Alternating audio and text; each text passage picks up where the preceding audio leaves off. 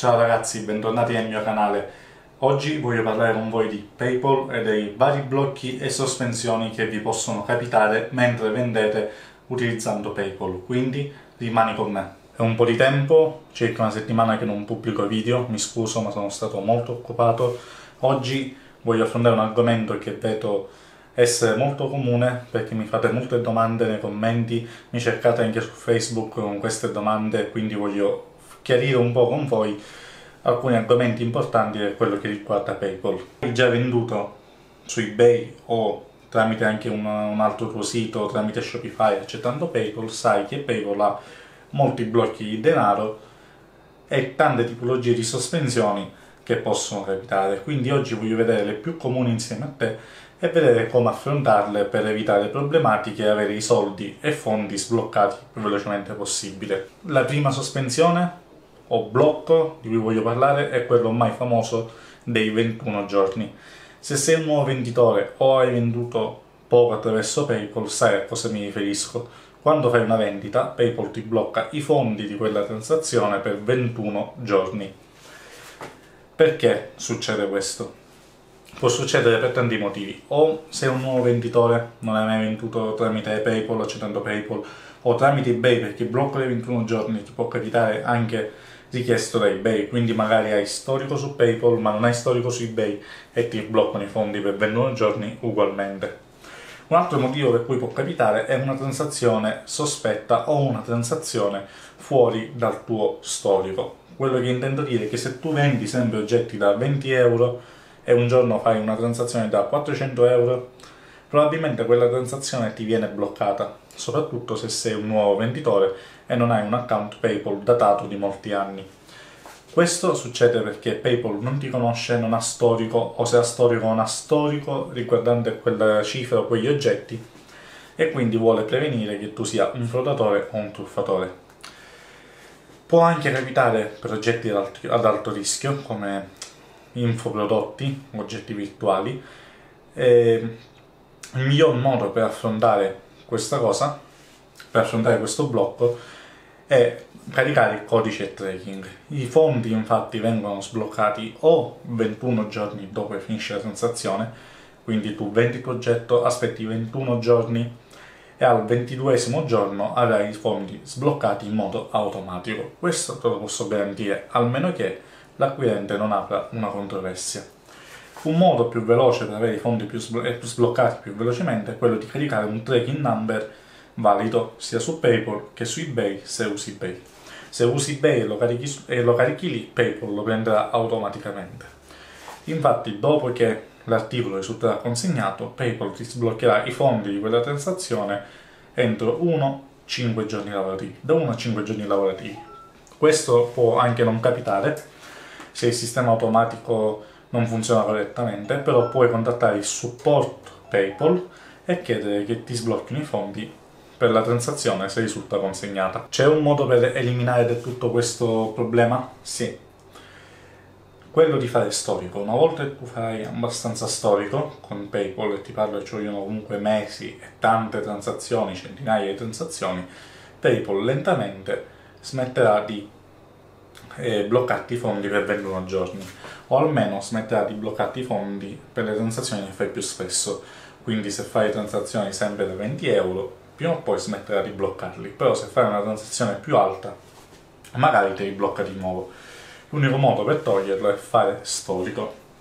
Oppure avere una revisione manuale dal team di PayPal eh, ma questo lo vediamo più avanti. Un'altra domanda che mi fate spesso nei commenti nel canale quando pubblico video di PayPal è quella per i minorenni. Mi contattano molti minorenni che hanno il conto bloccato perché devono verificare i documenti o perché PayPal gli ha chiesto di verificare i documenti, oppure conti che avevano aperto quando erano minorenni e che non possono verificare oggi che sono maggiorenni. Mi dispiace darvi questa notizia, ma in quel caso non potete sbloccare il conto. Infatti i termini e condizioni di PayPal vietano assolutamente i conti ai minorenni. Inoltre PayPal non accetta cambiamenti anagrafici, quindi non puoi cambiare la data di nascita nel conto, a meno che si tratta di un errore devi mandare la documentazione a PayPal dove mostri la tua data di nascita, però è ovvio che se hai il conto da 5 anni e hai messo una data completamente diversa non, non te la correggeranno. E non solo, se scoprono che il conto è di un minorenne o era di un minorenne te lo bloccheranno, anche se non è ancora bloccato. Quindi se hai fondi bloccati su PayPal e ti chiedono i documenti ma sei o eri minorenne e non hai documenti da poter dare, non c'è assolutamente nessun modo per sbloccare questi fondi, perché a termini e condizioni PayPal te lo può bloccare e tenersi i fondi. Mi dispiace. Un'altra circostanza di verifica comune è quella della soglia dei 2500 euro. Infatti devi sapere che PayPal ha l'obbligo di verificare i tuoi documenti quali carta d'identità o passaporto è un tuo, una tua prova di indirizzo come può essere una bolletta o un contratto di affitto o un, un estratto conto bancario quando raggiungi i 2500 euro. Se tu non fai la verifica di questi documenti, il conto mh, mm, ti verrà sospeso e non potrai né prelevare denaro né inviarlo, solo ricevere pagamenti. Solitamente PayPal invia una comunicazione a 1800 euro per avvertirti che devi caricare questi documenti, quindi se li invii per tempo quando raggiungi 1800 euro quando arriverai a 2500 euro probabilmente sarai già verificato e non avrai nessun tipo di blocco.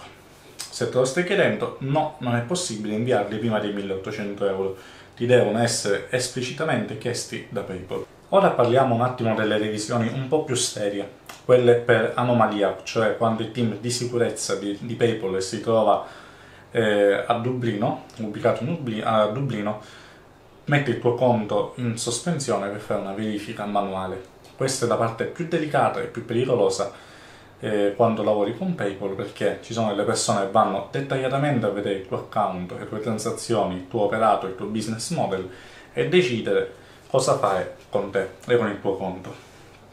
Perché succedono queste verifiche manuali?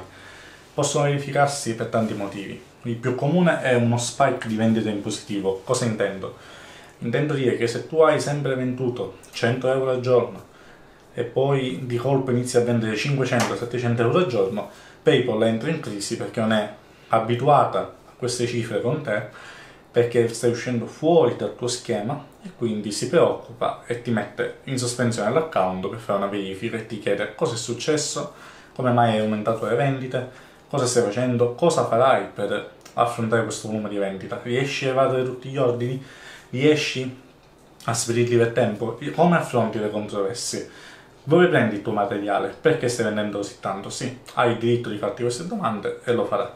E dovrai farti trovare pronto. Ho fatto un altro video dettagliato sulle sospensioni PayPal e su cosa chiedono solitamente. Poi voglio ribadire che ogni caso è soggettivo, può variare e serve un'analisi soggettiva della casistica, quindi non c'è una soluzione unica perché tutti noi abbiamo business model diversi e schemi diversi di vendita. Un altro motivo per cui c'è una revisione manuale su PayPal è quella di vendita ad attivo e alto rischio. Ad esempio, se vendi cellulari, se vendi computer, se vendi infoprodotti, sei ad alto rischio rispetto a una persona che vende eh, fodere per cuscini, per cuscini ricamati a mano, okay? perché è più difficile fare truffe su fodere, mm, fodere per cuscini. La maggior parte dei truffatori andranno a vendere cellulari, computer, roba elettronica infoprodotti. E quindi se vai a vendere una determinata, una determinata tipologia di prodotti, preparati a una verifica manuale, perché statisticamente sono i prodotti dove ci sono più truffatori, più frodi e quindi PayPal vuole verificare personalmente il tuo business model. Per quanto riguarda lo spike di vendite di cui stavo parlando poco fa, Vorrei aggiungerti una cosa, se tu ovviamente devi aumentare, devi scalare il business, è ovvio che vai a aumentare le cifre che ricevi, però se non vuoi avere una revisione manuale o una sospensione del conto, perché se sei una nuova persona, un nuovo cliente, potrebbero anche sospenderti a vita, anche se sei a posto. Il trucco è andare in modo progressivo, ok? Quindi se vendi 100 al giorno, passa a vendere 120, fai un po' di storico, poi passa a 150, fai un po' di storico e poi passa a 200 Così puoi ridurre la probabilità di sospensione e di verifica. Ma prima o poi potrebbero comunque metterti in verifica manuale. Non devi avere paura di questo, devi affrontarla, ma devi essere preparato.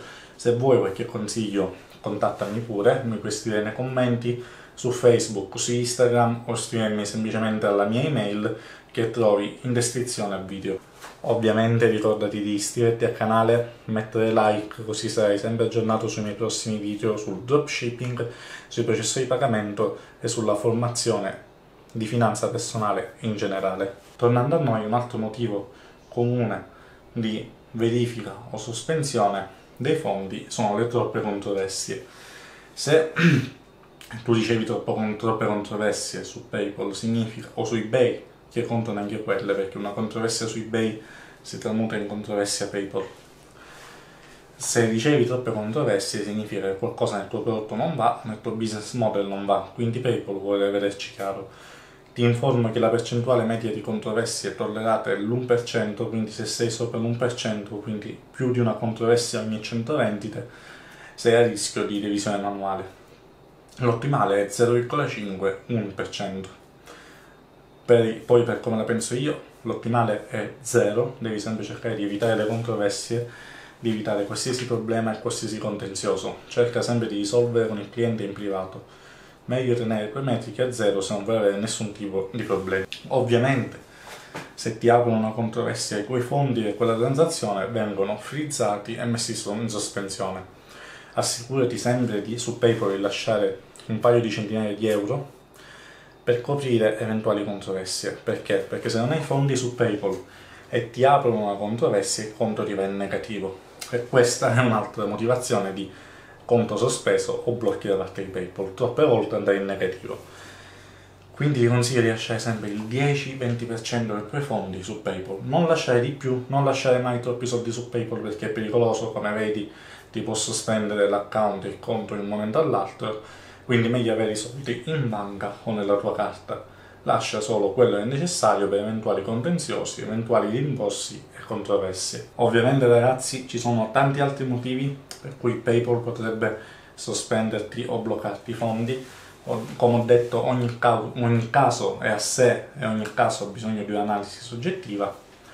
Quello che ti posso consigliare è cerca sempre di lavorare pulito, evita i prodotti digitali se non sai venderli perché i prodotti digitali sono i prodotti con più alto rischio possibile per eBay perché non puoi fornire tracking number se non sai come fare, non puoi fornire di, diritto di recesso, non... ci sono troppe complicanze, PayPal non gli piace. Ovviamente puoi sempre vendere, c'è chi fa un sacco di soldi con gli infoprodotti, c'è chi vende migliaia e migliaia di euro a settimana, nessuno te lo vieta, però sappi che sei più soggetto a controlli. Ovviamente se sai poi come passare questi controlli, come affrontare PayPal, potrai vendere in tranquillità. Ricordati di iscriverti perché farò altri video su PayPal e sulle sospensioni faremo anche un case study, andremo a studiare un caso di sospensione, di verifica insieme e come l'ho affrontato e come l'ho superato, sperando che queste informazioni ti possano servire per il tuo business e che poi puoi scalare più facilmente e non preoccuparti dei processori di pagamento perché